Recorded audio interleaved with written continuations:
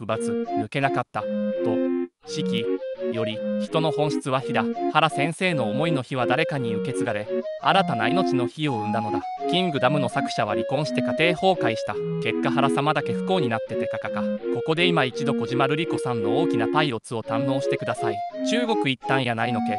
結局中国に出荷されたのこいつ。結局中国行かずに地元にいるらしい。おおおっぱいキングダムモーテとか繋いだりしてるのかな。こんな可愛かったんやな琥珀歌にしか見えんわ。普通に好きなんやが身体をキタッとハウスされたらね。実際騒動前は普通にエロく見れてたし不罰の誓い。拙者はこやつでは抜かぬ。天下取りって単に自分から落ちぶれたな。キングダム連載中に唯一原家を滅亡に導いた武将。